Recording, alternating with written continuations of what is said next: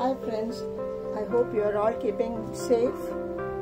Today I will tell you about how I am going to gear up for the oncoming summer. See, summer is a time when plants need a lot of water and getting protected from the sun heat. So to that end, what I have done is I have kept the pots and the grow bags on benches or on an elevated place so that the heat that radiates from the ground, from the terrace will not affect the plant to a great extent and they will not wither fast.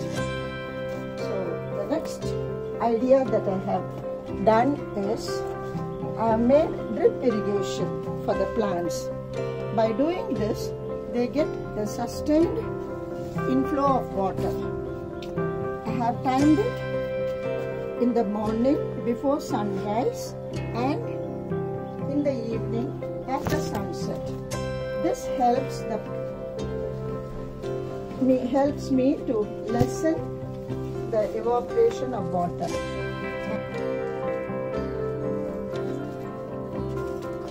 This is the timer that I have installed. This helps to this helps the plant to have enough water in the morning and in the evening and also it conserves my water consumption and power consumption which is important. The third point is I have a tub or a bucket to conserve the water that comes out from a grow bag and this can be recycled. This has got all the nutrients in it and I don't feel like wasting it. So as and when it becomes full, I put it back into the pot. The fourth point that I would like to tell in summer is that the plants have to retain the water that are in the grow bag. So what I do is I put the dried leaves. This is called mulching. The dried leaves are put in the pots or the grow bags and this retains the water to some extent, to a large extent and also becomes gradually manure for the plant. You need to be careful about it. Sometimes ants do come for this. You can put turmeric powder. That will ward away the ants.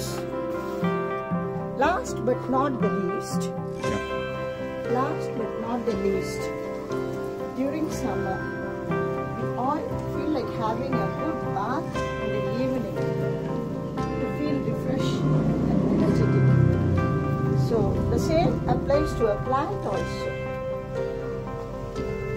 A nice shower for the plant once in a day or maybe once in two three days so that the dust and all the uh, bad things like soot or whatever comes from the atmosphere is clean and the leaves and the plant look really refreshing. They love to have a bath. You can see that how nice they look.